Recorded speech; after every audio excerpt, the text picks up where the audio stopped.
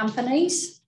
Um, a lot of you will probably be familiar with companies uh, and you may operate under a company, uh, a trading company yourself in a, in a, farming business or other type of business.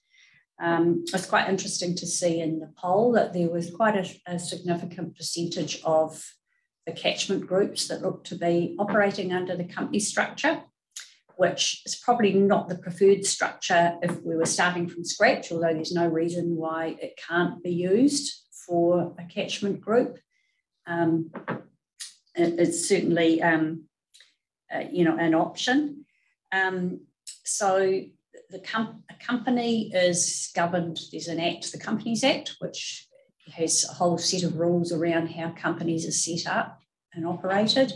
And of course, there's a lot of judge made law or case law or common law, is what we call it, around the operation of companies. Um, normally, the company will have a constitution, which is the, the document that founds it. Uh, it doesn't have to have a constitution which is registered with the Companies Office. So these um, incorporated structures, so that's the incorporated society, charitable trust board and a company are all registered through the New Zealand Companies Act, it's Companies Office.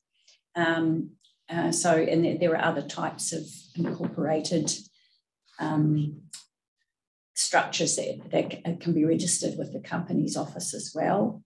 Um, so, companies, as, as a lot of you probably realise, they are governed by directors uh, just going back to the constitution, if the company doesn't register a constitution with the Companies Office, then it's it's just governed by the Companies Act. So it doesn't have to register a constitution.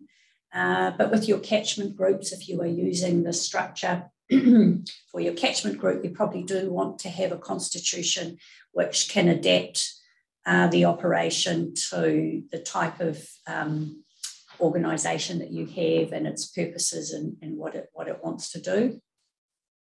So you'll have directors and then your members will be your shareholders and there can be any number of uh, directors or shareholders.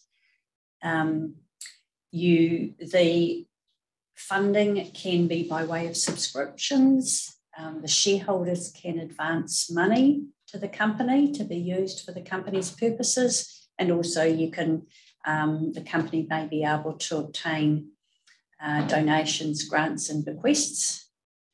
Um, one big advantage of the company is the limited liability. Uh, and again, that what that means is the directors are not individually personally liable, and nor are the shareholders. Uh, the company itself is, is the entity that's sued.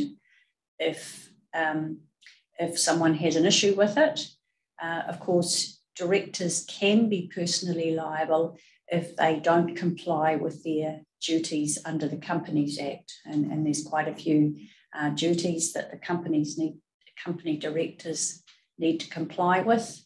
Uh, and just to give an example, uh, if a company director keeps trading when the company becomes insolvent, uh, then that company director can incur a personal liability. So, company directors need to be aware of those duties to avoid any personal liability. Um, as with the incorporated charitable trust and the incorporated society, uh, it's the company itself that will own the assets, not the individuals.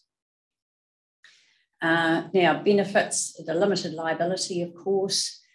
The directors will be in charge of running the company. Um, they will be making the decisions and they will be doing that in accordance with their registered constitution, if there is one, or otherwise in accordance with the Companies Act. And uh, they are accountable to the shareholders. So um, if they're not doing the job properly, the shareholders can take action against them.